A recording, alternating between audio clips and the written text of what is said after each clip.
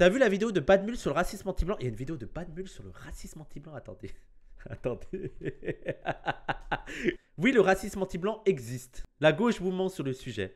Mais écoutez, allez, et je vais essayer d'être premier degré. Parce que euh, nous, on rappelle qu'on a fait une vidéo aussi où on disait que le racisme anti-blanc peut exister du point de vue individuel. Si on se limite sur le point de vue individuel, le racisme anti-blanc existe. Mathieu Slama qui dit Le racisme anti-blanc est un concept qui n'est reconnu par aucun chercheur sérieux, mais il est martelé depuis des années par des figures de l'extrême droite. Euh, Mathieu Slama, je le déjà, euh, une petite précision Mathieu Slama, je le trouve tellement pas bon, merci Safran, tellement nul quoi. En fait, j'ai l'impression que ça, c'est le tweet du gauchiste de base qui a bien révisé sa leçon et qui va pas plus loin que ça. J'ai l'impression que les gens ne se sont pas intéressés à ce, qu'on, à, ce qui est dit sur le racisme anti-blanc, mais je pense qu'on va en parler là. Est-ce qu'on a des nouvelles infos? J'ai pas vu de nouvelles infos qui pourraient démontrer que les crimes commis à Crépol et le meurtre et tout ça et les agressions sont motivés par la haine raciale des blancs. Sur ça, bon, je pense qu'il. Je pense qu'il est en mode doute. J'attends des preuves. Voilà, on va pas. Déjà, on va essayer d'être honnête avec Bad Mulch, ok? Est-ce qu'on a des nouvelles infos? J'ai pas vu de nouvelles infos qui pourraient démontrer que les crimes commis à. L'enquête prouve qu'il n'y a pas de racisme anti-blanc, quoi. C'est pas ça qui a motivé. Après, il y a eu des insultes racistes entre les deux, mais le pas eu une volonté d'aller taper du blanc, quoi. À Crépol et le meurtre et tout ça et les agressions sont motivés par la haine raciale des blancs. Par contre, ça m'a un petit peu trigger quand même que Mathieu Slama dise que le racisme anti-blanc est un concept qui n'est reconnu par aucun chercheur sérieux. Le sous-entendu là, c'est clairement que le racisme anti-blanc n'existe pas. À chaque fois, c'est ce qu'il ne veut pas comprendre, c'est que notre définition du racisme, elle est liée au pouvoir. Et ça, c'est le premier point qui, a été imposé avec l'antiracisme politique. Sinon, on est dans une définition morale et individuelle du racisme, et à croire que le racisme, c'est simplement pas aimer l'autre, euh, genre le pas aimer le noir, le pas aimer le blanc. Oui, tout le monde est raciste. Tout le monde est, xénophobe avec euh, l'idée raciste. On est d'accord Personne n'est immunisé face à ça. Par contre, nous, notre définition du racisme, c'est un système qui s'incarne dans les institutions et qui hiérarchise les individus. Et le racisme, qui a été développé avec la modernité, instaure une hiérarchie mondiale, raciale, dans lequel le blanc est supérieur. Le blanc est supérieur et après il y a des strates en dessous avec le noir tout en bas. Mais ça encore, c'est dynamique, ça change selon le temps. Mais dans le système racial actuel et mondial, le blanc est toujours vu comme supérieur, l'Occident est toujours vu comme supérieur. C'est difficile de dire que le racisme anti-blanc, en tant que système institutionnel, existe. C'est que vous n'avez pas la même définition. Bah oui, mais nous, dans la vidéo qu'on a fait sur euh, Parole d'honneur, on a dit mais si on a une conception morale du racisme qui se limite à des actes interindividuels et euh, à des agressions et tout, et à une haine de l'autre. Bah oui, le racisme anti-blanc existe. Et on admet que, notamment dans des quartiers et tout, des blancs ont pu être victimes de racisme anti-blanc. C'est ce que Albert Memmi appelait le racisme édenté. Pourquoi il disait que c'était le racisme édenté? Pas parce qu'ils ne pouvaient pas être violents, mais parce qu'ils n'avaient pas l'organe du pouvoir pour s'exprimer. C'est-à-dire que les Noirs et les Arabes qui sont racistes envers les Blancs. Bon déjà, est-ce qu'il y en a tant que ça? Mais bref, quel est le pouvoir, à part le, truc individuel, mais quel est le pouvoir institutionnel qu'ils ont de mettre en place leur racisme? Ils ont rien. Ils, sont limités à des, à des, actions interindividuelles. Mais ils ne peuvent pas euh, imposer leur racisme du point de vue général et défavoriser de manière générale les blancs en France et dans le monde. Mais quand je dis ça, les gens, ça ne veut pas dire que le racisme anti-blanc ne pourra jamais exister. Il faut toujours avoir une vision matérialiste.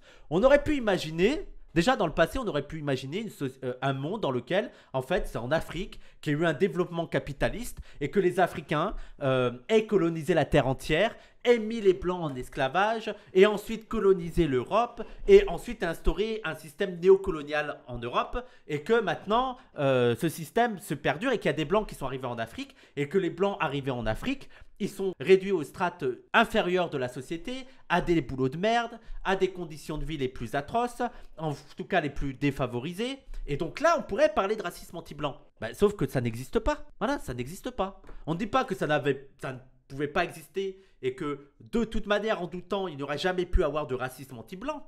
On dit que bah, dans les faits, pour l'instant, pour le moment, ça n'existe pas. Et ça ne veut pas dire aussi que les blancs étaient voués à être des racistes. C'est juste que voilà, l'histoire a été faite comme ça. On, prend l'histoire telle qu'elle a été faite, c'est tout. Et aussi, ça veut pas dire que, imaginons, dans 200 ans, euh, l'Afrique devient dominante, on sait pas, elle découvre euh, le vibranium. Et c'est une énergie surpuissante. Et ils utilisent cette énergie surpuissante pour l'Afrique et pour devenir dominant. Et à travers ce vibranium, à travers cette euh, puissance technologique, ils arrivent à être supérieurs à tout le monde du point de vue économique, militaire et tout. Et ils en viennent à dominer la planète entière, à mettre toutes les populations du monde à leur service et exploiter toute la Terre entière et à réduire les Blancs à des positions de subalternes. Et bien alors, on pourrait parler de racisme anti-blanc en tant que système. Ça pourrait arriver dans 200 ans, on sait pas.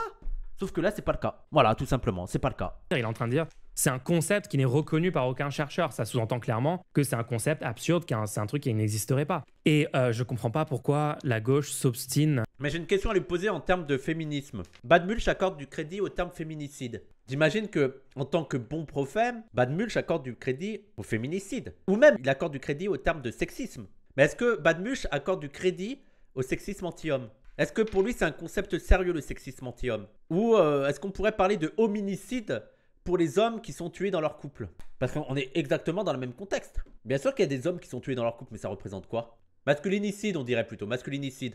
On est dans la même, configuration. Le sexisme anti-homme, je pense qu'il y a des misandres, ça peut exister, mais en tant que système, c'est quoi? Ça représente quoi? Est-ce que c'est un concept sérieux pour mener faire de la sociologie? Euh, Bien sûr qu'il y a du racisme anti-blanc. En France, il y a des gens dans le monde qui sont racistes contre les blancs, qui ont des préjugés sur les blancs. Prenons le racisme anti-blanc aux États-Unis. Voilà. Moi, je pense qu'il y a des noirs qui sont racistes anti-blancs aux États-Unis, tu vois. Mais est-ce que ce racisme anti-blanc des noirs aux États-Unis, déjà d'une, on revient sur le truc de est-ce que tu penses qu'ils ont le pouvoir institutionnel de, de, de, le mettre en place, ce racisme anti-blanc? Mais est-ce qu'aussi, euh, tu ne fais pas le lien avec le racisme que vivent les noirs? Ok, il pourrait avoir du racisme anti-blanc, mais est-ce que c'est pas en lien avec le fait de, de, la, manière dont ils ont été traités pendant des centaines d'années?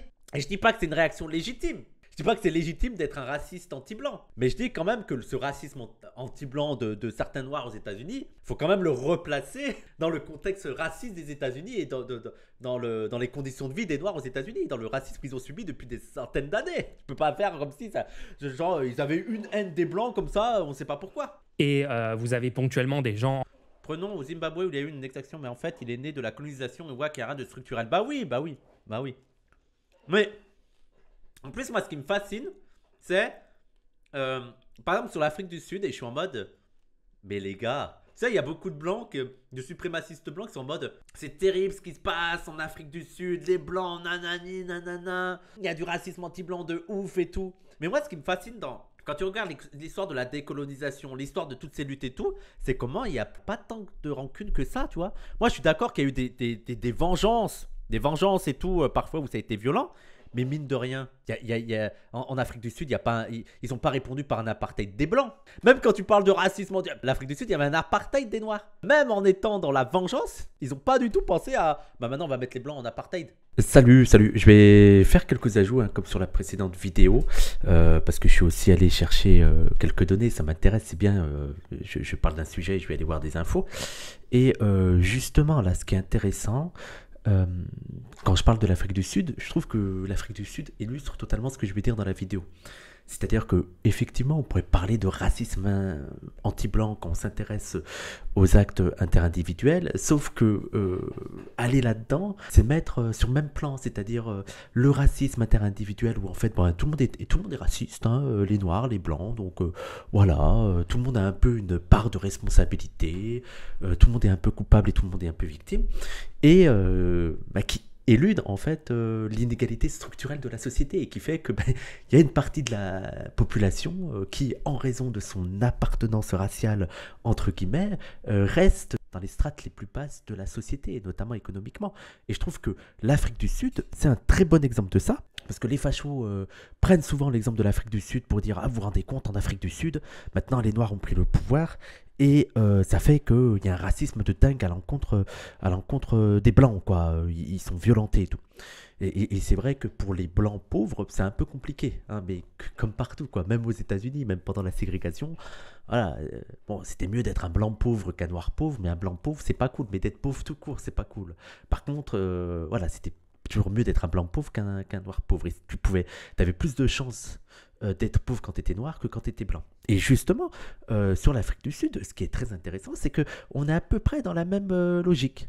Donc on est à peu près dans la même logique. Et j'ai regardé plusieurs sites qui confirment à peu près la, même chose.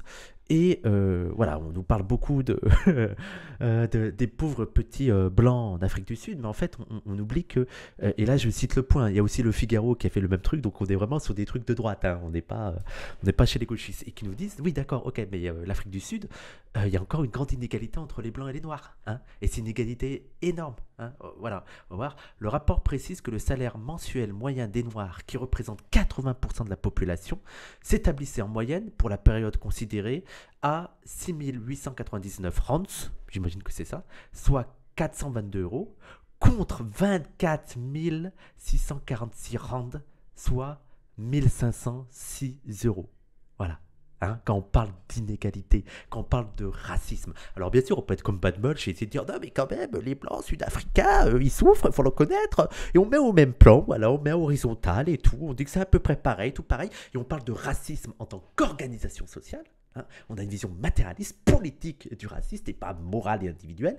Et on voit euh, l'inégalité structurelle qui fait que bah, les blancs sont encore dominants et les noirs sont encore dominés, sont encore réduits aux strates les plus basses de la société. Et on voit que c'est partout. Hein. Et c'est l'accès aux soins. Là, on parle du salaire, de l'argent, mais c'est l'accès aux soins, c'est l'accès à l'éducation c'est l'accès à la culture, c'est l'accès à tout. Donc voilà, c'est pourquoi, pourquoi on doit encore parler Pourquoi Comment ça se fait Pas de mulch. On va te parler de racisme anti-blanc en Afrique du Sud. Tu vas faire quoi? Tu vas centrer sur le fait que oui, effectivement, il y a du racisme anti-blanc en Afrique du Sud. Tu vas dire non, mais c'est rien par rapport au racisme. Euh, au, racisme que subissent les Noirs et en fait au racisme. Le racisme a été euh, a imposé cette hiérarchie entre blanc et noir. Voilà, voilà ce qu'il faut faire, Bad plutôt que passer des heures à dire non mais le racisme anti-blanc quand même. Bref, vous allez voir que dans le suite de la vidéo, je, je vais expliquer un peu plus, euh, un peu plus ça. À toutes. Est-ce que je suis en train de dire que c'est un problème majeur en France euh, Tous les blancs ont été victimes une fois de racisme anti-blanc au moins une fois dans leur vie? Bien sûr que non. Bah oui, mais là il dit que c'est pas un problème majeur en France, mais justement c'est ça le pas de muche, plutôt que de réhabiliter le, concept de racisme anti-blanc, insiste plutôt sur le fait qu'on est en train d'en faire un problème de société, alors que ça l'est pas. Il faut arrêter d'exagérer sur le racisme anti-blanc. En plus, on est dans une société où les droits d'art nient absolument tous les racismes, à commencer par l'islamophobie. Et pourtant, c'est les premiers à, crier au racisme anti-blanc à chaque fois. Et plutôt un discours sur ça, sur plutôt, que d'essayer de, réhabiliter le terme racisme anti-blanc. En vrai, son point de vue, tu vas voir, c'est que pas reconnaître qu'il y a du racisme interindividuel, ça peut être bloquant pour convaincre les gens.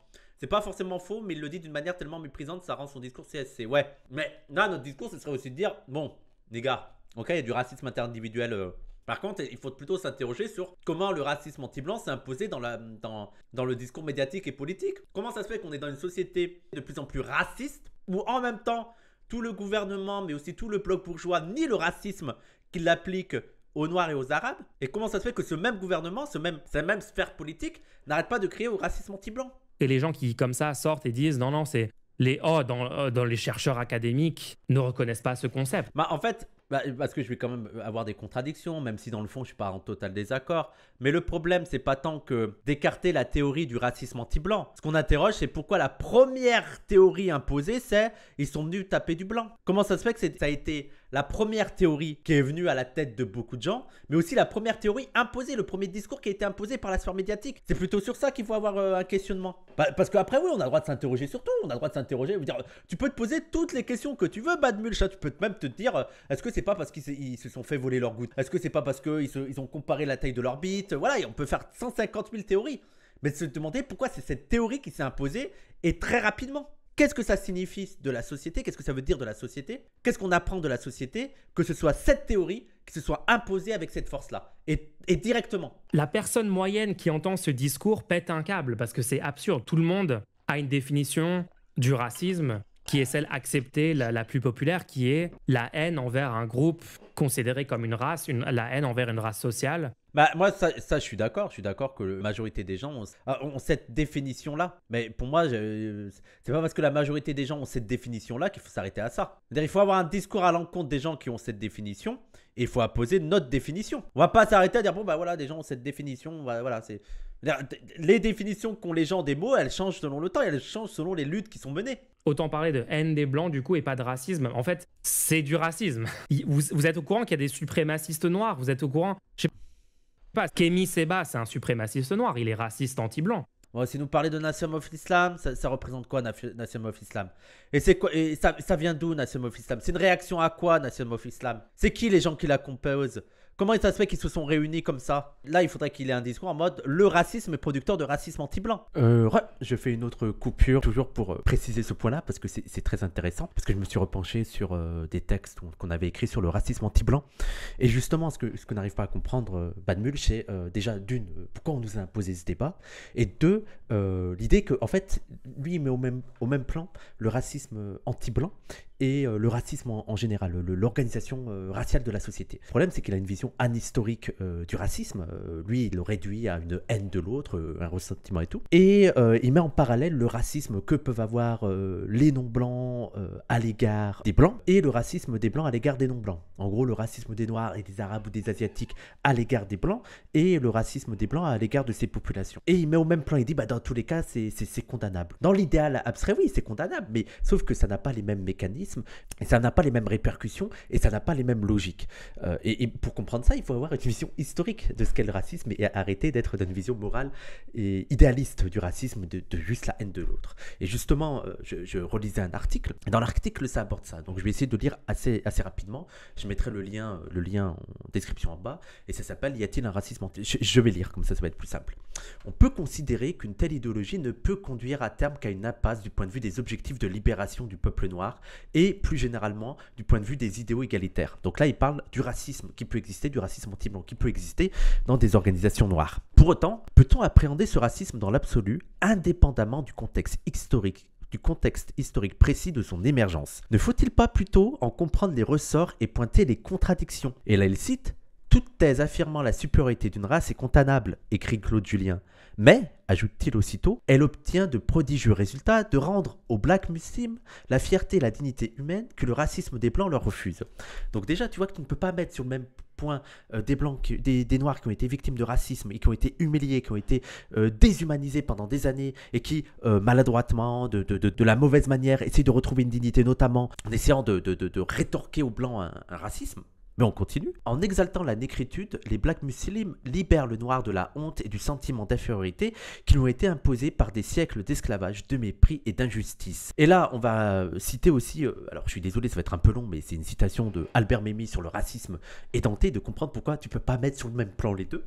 Parce, si tu n'es pas simplement un curé qui fait de la morale, si tu fais de la politique, hein, comme Bad Mulch avant de citer, comme tu ne mets pas euh, sur le même point une misandrie d'une femme, euh, le, sexisme anti-homme d'une femme et le sexisme, le sexisme euh, d'un homme, d'accord? Tu comprends que le sexisme anti-homme d'une femme, même si moralement bah, c'est pas cool, c'est pas très gentil, oui, mais il est quand même à comprendre, à resituer sur toute la domination patriarcale qu'elle subit. Donc, on remet et ça peut aider les femmes aussi, ça peut participer euh, d'un mouvement de redignité euh, de la femme et d'auto-organisation des femmes, et qui va petit à petit, euh, le sexisme anti-homme, s'estomper pour donner place à une lutte antisexiste et féministe vraiment basée. Mais on lit la citation de Mémi. Le racisme du colonisé n'est en somme ni biologique, ni métaphysique, mais social et historique. Il n'est pas basé sur la croyance de l'infériorité du groupe détesté, mais sur la conviction, et dans une grande mesure sur un constat, qu'il est définitivement agresseur et nuisible. Plus encore, si le racisme européen moderne déteste et méprise plus qu'il ne craint, celui du colonisé craint et continue d'admirer. Bref, ce n'est pas un racisme d'agression mais de défense. C'est pourquoi on peut soutenir cette apparente énormité. Si la xénophobie et le racisme du colonisé contiennent assurément un immense ressentiment et une évidente négativité, ils peuvent être le prélude d'un mouvement positif, la reprise en main du colonisé. Ce à quoi Cédric Yari, qui a écrit, euh, parce que c'est extrait de, de son livre Pour une politique de la racaille, rajoute, et c'est très important, hein, très très important, redire Mémi aujourd'hui, dans un contexte idéologique marqué par l'hégémonie de l'antiracisme abstrait, celui de Bad Mulch, conduit au pilori une plaque d'infamie clouée au front, coupable de hiérarchiser les racismes. Voilà ce que nous ferait euh, Bad Mulch. Bien plutôt, il s'agit pour nous de ne pas confondre dans une même haine de l'autre des phénomènes différents, de saisir leur dynamique historique et les paradoxes des luttes des dominés, dominés également par les valeurs des dominants qu'ils combattent. Je te laisse, Bad Mulch, euh, penser un petit peu à ça et comprendre pourquoi euh, c'est, problématique de passer autant de temps à dire mais non, le racisme anti-blanc existe et de les mettre au même plan. Mais euh, tu verras, il y aura l'article en dessous. Non, si, je suis désolé, c'est un raciste anti-blanc. Faut arrêter de, de nier la réalité au bout d'un moment. Ou vous prenez, j'en sais rien. Moi, je, suis sûr qu'on peut trouver des vidéos sur Internet d'agressions. Oui, mais c'est ce que je dis depuis le début. Les gens, là, il est dans une définition du racisme interindividuel et moral. Euh, ce qu'on n'arrête pas de dire, quoi. Voilà. J'espère que ça va pas être 15 minutes de ça parce que voilà, nous on n'arrête pas de dire oui, bon, si vous prenez cette définition, oui, oui, il y a du racisme anti-blanc, voilà, individuel. Effectivement, il y a des gens qui vont dire sale blanc, voilà, ok. Et donc La sociologie insiste sur le côté systémique du racisme, justement pour expliquer. Non, mais je suis au courant. C'est pour ça qu'en fait, on a le terme racisme systémique. Synapse, réfléchis deux secondes. Pourquoi est-ce qu'on a le terme racisme systémique? À quoi sert l'adjectif systémique? Parce que si tu considères que racisme égale racisme systémique. Bah oui, euh, mais attends, alors pour nous c'est ça. Veut dire le racisme, c'est ça. Le racisme est forcément systémique. Le racisme, c'est un mode d'organisation sociale. C'est ça aussi qui. Là, là par contre, oui, je pense qu'il y a un problème, c'est que pour nous, le racisme dans sa définition telle est une forme d'organisation sociale. Et c'est pour ça que tu permets de, la situer dans le temps. Parce que sinon, si tu vas dans l'inter-individuel, il y a toujours eu de, dire, il y a toujours eu des formes de xénophobie, des formes d'intolérance, des formes de, il y a toujours eu une forme de rejet de l'autre. Sauf que dans le racisme, on, entre dans une phase où ça euh, impacte l'organisation sociale et ça transforme tous les rapports tous les rapports, que ce soit interindividuels, mais même les rapports interétatiques, euh, les rapports des institutions aux individus. C'est ça qu'il ne veut pas comprendre, c'est que le racisme est un système d'oppression. Dans, notre définition telle, dire, on rajoute racisme systémique pour vous faire plaisir à vous, pour que vous compreniez notre définition du racisme. Mais le racisme est systémique en tant que tel c'est pas du tout une bonne idée que la gauche adopte cette définition-là de racisme parce que ça va parler à personne. Et là où je voudrais lui opposer quelque chose, c'est qu'on on avait suivi son, son, idée de dire ça va parler à personne donc on n'en parle pas, bah en fait on n'aurait jamais parlé de blanc. Voilà. Il y a 15 ans, le, pire et l'antiracisme politique n'auraient jamais parlé de blanc. Et n'auraient jamais parlé de race. Parce que les, gens ne comprenaient pas le terme race. On bouge pas en fait. On, s'arrête avec les a priori des gens. Bravo. Non, non, mais c'est bien. Hein. Je trouve que c'est très efficace. Hein. C'est justement parce qu'on s'est dit, mais écoutez, on va imposer cette idée, on va imposer de parler de blanc et de race, que maintenant on parle de blanc et de race. Et juste, et ça, c'est aussi un combat avec le racisme. C'est un combat d'imposer le fait qu'on parle de racisme en ayant en tête que c'est euh, lié aux institutions, lié au système. Oui, comme pour le féminisme, exactement. Le féminisme, ça a été les mêmes enjeux, quoi. On n'a pas dit non, les gens vont pas comprendre, donc on va pas l'imposer. Et même, parfois, ça peut être un truc intéressant d'aller contre les idées des gens et de, les provoquer sur des termes euh, qui peuvent choquer. Moi, je sais que dans le féminisme, il y a tout un slogan qui peut choquer les gens parce qu'ils ne le comprennent pas, mais c'est euh, contre la famille. Des féministes qui disent on est contre la famille. Et en fait, t'as les gens qui sont en mode mais quoi, la, famille, euh, c'est bien, qu'est-ce que. ils sont malades. Mais justement, ça va provoquer aussi un intérêt. Qu'est-ce que vous entendez par on est contre la famille. Et ça permet, voilà, ça permet d'attirer les gens, ça permet d'attirer la, curiosité, qu'est-ce que vous allez entendre par là, et d'avoir des discours que vous n'aviez jamais entendus sur la famille. Il y a un tas de suprémacistes chinois qui sont racistes anti-blancs. C'est tellement courant, les suprémacistes chinois racistes anti-blancs. non, mais vu qu'il y, a 1 milliard, il y a 1 milliard 500 millions de, de Chinois, il doit bien en avoir quelques-uns qui sont racistes anti-blancs, et c'est bien la peine d'en parler, quoi.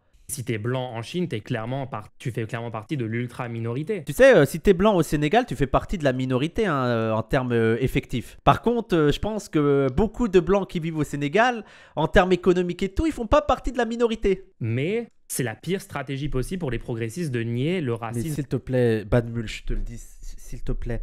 En fait, ce qui est embêtant avec toi, c'est que tu es dans l'exagération, quoi. Tu es dans l'exagération. Une position peut être critiquable, peut avoir une forme de légitimité et tout, et toi, tu es c'est la pire position possible. C'est la pire. c'est catastrophique. C'est mais arrête, c'est pas la pire. Il y a pire. Il y a pire. Arrête. Pushback contre un tweet de Mathieu Slama qui prétend que le racisme anti-blanc n'existe pas, qui a 3000 likes sur Twitter, 1000 retweets de toute la gauche à Internet, qui est une opinion Genre, mon tweet a eu. Oui, après, euh, regarde les QRT aussi, euh, Bad Mulch. Hein. Je pense que 1000 retweets, je pense qu'il s'est fait grave descendre aussi, euh, Mathieu Slama. Like, d'accord, ok. Apparemment, il y a des gens qui sont d'accord avec moi. Ça reste 20 fois moins que les gens qui sont d'accord avec le tweet de Mathieu Slama. Je suis en train de critiquer un discours que certaines personnes dites de... Bah tiens, mais attends, pourquoi il n'est pas revenu sur les... Alors voilà, il a parlé des 2000 likes. bah, juste après, t'as Juliette Prince Brian, je sais pas comment. 4300 likes, elle la ratio. Elle la ratio euh, pour le contredire en fait. Euh, bad mulch. Donc euh, voilà, c'est très bien de trouver les chiffres, mais justement, les gens qui y croient, ils sont beaucoup, beaucoup plus nombreux. Là, t'es dans le sens de la majorité là. Un discours que certaines personnes dites de gauche ont, que je trouve désastreux pour convaincre la majorité des gens de, de ce que dit la gauche en fait. Les comptes son camp permanent de la gauche. Mais en plus, moi je comprends pas sa logique de euh, c'est un mauvais discours pour, con- pour convaincre la majorité. C'est pas lui aussi qui a eu des tweets catastrophiques là Genre, faut arrêter de se dire hétéro ou homo, un truc comme ça, non? Ouais, non, faut arrêter de se dire homme ou femme. Il avait pas fait un tweet comme ça là Il a plein de tweets de merde comme ça. Et je suis en mode, mais gros, tu, vas convaincre qui avec. euh, Faut arrêter de se dire homme ou femme? Parce que si on va dans ce sens-là, euh, c'est pire tech possible. Pire tech possible, catastrophique. Comment tu vas convaincre la masse comme ça Euh, Non, mais il a, il a aucune cohérence. Hein. Oui, il faut arrêter euh, de se genrer homme ou femme, sinon on participe activement au patriarcat. Juste imaginez la personne moyenne, imaginez un normie, entre guillemets, dépolitisé, etc. Imaginez un normie, on lui dit euh, faut arrêter de se définir comme homme, homme ou femme et euh, parce que sinon c'est participer au patriarcat. Imaginez, imaginez un normie, vous y, vous y pensez, vous avez la pire texte, c'est catastrophique, catastrophique. Les personnes non blanches. Après son, son tweet, alors il n'y a pas de racisme systémique anti-blanc, mais la gauche devrait réellement arrêter de nier que l'existence de tout racisme anti-blanc. Les gens avec des préjugés ou de la haine envers les blancs, ça existe évidemment. Ben moi je serais d'accord, mais pose des mauvaises questions en fait, euh, Bad Mulch. Il n'arrive pas à comprendre que là on lui a posé le débat du racisme anti-blanc. C'est ça le problème. Mais bref, moi je suis d'accord avec l'idée que simplement dire que le racisme anti-blanc n'existe pas, parce que le tweet de Mathieu Slama en fait il existe, il explique rien. Euh, Mathieu Slama, il fait du catéchisme de gauchiste. Il se contente de dire Ah non, mais c'est pas un concept racisme anti-blanc, euh, ça n'existe pas et tout, sans expliquer pourquoi et sans aller dans, dans, dans, une analyse du sujet, quoi. Euh, Voilà. Donc, nous, on peut expliquer que notre définition du racisme et pourquoi on considère que le racisme anti-blanc n'existe pas. Mais si vous prenez le racisme anti-blanc dans ce sens-là, le racisme dans ce sens-là, c'est-à-dire du sens interindividuel et moral, bah oui, ça peut exister. Veut dire tout le monde a de la haine envers les autres, mais dans ce sens-là, alors le sexisme anti-homme existe, l'hétérophobie existe, voilà, tous ces trucs peuvent exister. Euh, mais bon, c'est- pas sérieux. C'est pas sérieux ça permet pas de comprendre l'ensemble de la société. Et plutôt que d'essayer de prouver que, ah, du point de vue individuel, le racisme anti-blanc existe, euh, il faudrait plutôt s'interroger sur pourquoi, encore une fois, on doit parler de racisme anti-blanc et pourquoi dans les chaînes d'infos et dans le milieu politique, il est plus facile d'admettre, et surtout euh, dans le bloc bourgeois, il est plus facile d'admettre la réalité du racisme anti-blanc et d'en voir absolument partout, mais d'être en, même- en même temps complètement aveugle sur le racisme, sur le racisme à l'égard des Noirs et des Arabes. concept sociologique, on n'est pas dans le même langage sémantique. Très bien, si vous voulez rester dans, le- dans le langage sociologique académique, restez entre vous, dans votre petite secte d'académiciens, sociologues, dans euh, vos universités. Après, euh, nous, Bad Mulch, on parle pas en tant on parle en tant que militant politique. Et pour lutter efficacement contre le racisme, il faut le comprendre, il faut le comprendre comme une question de pouvoir. Je vais répéter la phrase de Stokely Carmichael, alias Kwame Ture, qui résume tout. Le racisme est une question de pouvoir. C'est ça important. Vous dire, ok, les gens ont des pensées racistes et tout, on s'en fout. La question, c'est le, pouvoir de l'exercer ce racisme, du point de vue institutionnel. C'est Carmichael, les gens. Stokely Carmichael. Mais attendez, je voulais dire exactement comme il l'a dit. Si un homme blanc veut me lyncher, c'est son problème. S'il a le pouvoir de me lyncher, c'est mon problème. Le racisme n'est pas une question d'attitude, c'est une question de pouvoir. Et c'est ce qu'il faut faire comprendre à Bad Mulch. Hein, c'est une question de rapport au pouvoir. Et le racisme, ça a toujours été ça. Euh, comment le racisme a émergé à partir des Européens et a permis de faire des Européens les êtres supérieurs C'est avec le pouvoir. Non, non, non. Euh, donc, donc Fatima, tu es en train de me dire qu'Emi Seba, il est pas raciste. Je suis désolé, je pensais, je pensais que dans ma communauté, les gens allaient quand même être majoritairement d'accord avec moi. Kemi Seba, militant suprémaciste Non, mais en plus. noir. Conformément aux enseignements de l'organisation, il prône la revalorisation de la race noire, qui passe selon Elijah Muhammad, le guide de la Nation of Islam, par la séparation des noirs et des blancs. Non, mais c'est insupportable, quoi. L'exemple par Kémy Seba. Mais en plus, à chaque fois, ce qu'il nous donne, on va dire, allez, à part, que- à part euh, prenons en France, à part Kémy Seba, quel est l'autre penseur du suprémacisme noir, euh, Mulch, qui a une forte influence? Parce qu'en plus, Kémy Seba, euh, quand il avait ses idées de suprémaciste noir, son influence, elle était euh, timorée. C'est surtout parce qu'il était proche de Soral et tout, quoi. Mais Là, il a pris de l'influence, surtout pour ses positions anti-impérialistes. Ces positions que je ne partage pas, hein, précisons. hein. Même s'il se dit anti-impérialiste, son anti-impérialisme, je suis assez sceptique. C'est pas avec le suprémacisme noir qu'il a pris du pouvoir, même chez les Noirs, même chez les Noirs en France. Donc c'est qui le penseur suprémaciste noir là en France? Quelle est l'organisation suprémaciste noire en France qui a du pouvoir? Déjà, quelle est l'organisation de, de suprémacisme noir en France? Vas-y, dis-moi, euh, Ban Mulch. Vas-y. C'est qui? Y a quoi? Il a pas. Et d'ailleurs, est-ce qu'il faudrait s'interroger? Comment ça se fait qu'il y a tellement... Moi, il y a un truc qu'il faudrait s'interroger sur tout ça, c'est comment ça se fait que, vu le racisme ambiant, il y a tant d'organisations racistes, suprémacistes blanches, mais relativement peu d'organisations suprémacistes arabes ou noires, que ce soit aux États-Unis, en France, même dans l'Occident. C'est quand même, c'est quand même, quand même euh, assez marrant. On se dit non, mais alors, euh, même par réaction, tu vois, par réactance, de se dire ah bon, vous, voulez défendre votre race? Eh ben on va défendre la nôtre. Bah mine de rien, mine de rien, il y a très peu, voire pas d'organisations suprémacistes noires ou arabes ou même chinoises euh, en Occident, quoi. Et si elles existent, c'est quoi leur pouvoir? C'est rien, hein Mine de rien, il euh, n'y a pas tant de haine anti-blanche que ça, hein Malgré tout ce qui a été fait, quoi. Malgré tout ce qui a été fait. Mais, et, regarde, juste les noirs. Prenons le, le, cas des Noirs. Il faut quand même saluer la, la, solidité et euh, l'éthique et la moralité des Noirs dans le monde pour ne pas être tombé dans un racisme anti-blanc le plus crasse et de ne pas s'être organisé politiquement avec force euh, dans des politiques anti-blanches, vu tout ce que, vu ce que les Noirs ont vécu ces 400 dernières années.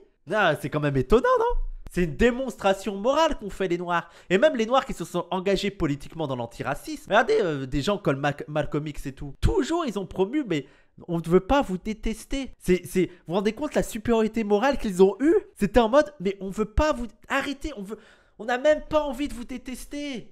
On ne veut pas devenir comme vous de haïr un humain parce qu'il a telle couleur de peau, c'est ouf. Moi, je pense qu'il faut se pencher là-dessus. Comment ça se fait que des minorités comme ça, qui ont été massacrées, qui ont été exploitées, qui ont été humiliées, soient si peu tombées dans le racisme anti-blanc? Au pire, ils prenaient le séparatisme. Oui, au pire, ils, étaient en mode bon, bah laissez-nous. Oui, ils étaient bon, bah d'accord, vous nous aimez pas. Eh bah écoutez, on va faire entre nous. Voilà, laissez-nous de notre côté. Allez là-bas. Ou alors, ils prenaient le truc, bah, laissez-nous rentrer chez nous. C'était soit, bah, laissez-nous tranquille on fait notre vie à côté, soit bah, laissez-nous rentrer chez nous. Oui, bah oui, non, mais la nation of l'islam, bien sûr que c'est bizarre, mais les gens, pareil. Et tu peux pas comprendre le succès relatif qu'a connu la nation of Islam sans remettre en contexte avec le racisme que vivent les Noirs. Je veux dire, c'est pas pour rien que la Nation of Islam a beaucoup recruté dans les prisons et dans les classes populaires noires. C'est très bien de pointer du doigt la Nation of Islam. Oh, ils sont racistes. Mais comment ça se fait qu'ils ont, qu'ils ont connu du succès chez les Noirs? Que, Pourquoi ils ont séduit euh, Malcolm X? Et à quel moment ils ont séduit Malcolm X?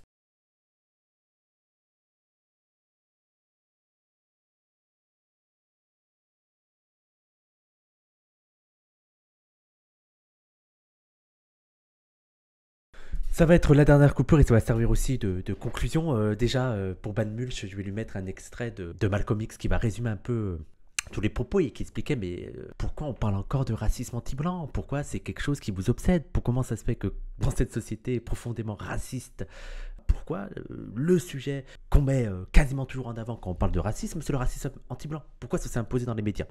Donc il va répondre à ça. On se revoit juste après. Could we press for a very simple answer to one question. Do you hate all white people? I don't think it's a fair question. For a white man today, sir, after uh, kidnapping millions of black people from Africa, stripping them of all human characteristics and relegating them to the role of chattel or cattle or animals, commodity, merchandise that could be bought and sold at will, uh, and then a hundred years since the Emancipation Proclamation, using every type of deceptive method to further us into slavery, uh, called second-class citizenship, I think that it would take a whole lot of nerve for white people today to ask Negroes, do they hate them? Okay.